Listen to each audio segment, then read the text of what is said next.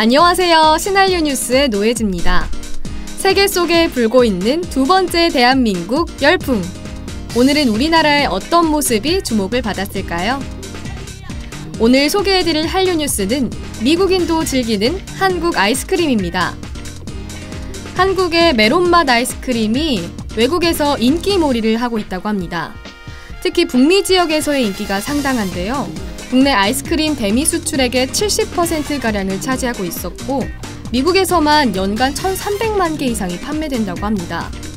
1,300만 개, 사실 이 숫자가 어, 얼마나 되는지 가늠이 잘 안 가실 거예요. 우리나라 인구가 5천만 명 정도 되니까요. 한 3분의 1 정도가 아이스크림을 접했다고 보시면 되겠습니다. 뿐만 아닙니다. 전 세계 16개국에서 판매되고 있는데요. 하와이 지역에서는 유명 편의점과 대형마트에서 판매 1위를 차지했다고 합니다.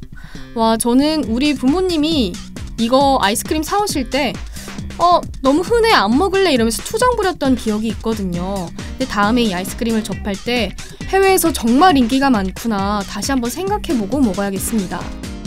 이렇게 해외에서 인기몰이를 하고 있는 이유에 대해서 검색해봤는데요. 메론맛 아이스크림의 독특한 식감과 부드럽고 풍부한 맛이 외국인들의 입맛을 사로잡았다고 합니다.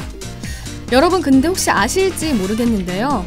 이 메론맛 아이스크림이 우리가 알고 있는 메론맛이 아니라고 합니다. 사실은 참외 향이라고 하는데요. 메론보다 참외 향을 더했을 때 더 맛있고 부드러운 향이 났기 때문이라고 합니다. 또한 멜론을 기본으로 딸기, 바나나, 망고 등 각 나라의 선호 과일 맛에 따라 판매했다고 하는데요. 그래서인지 매출액이 꾸준히 증가했다고 합니다.